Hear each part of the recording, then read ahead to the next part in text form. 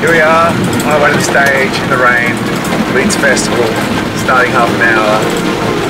It's going to be awesome.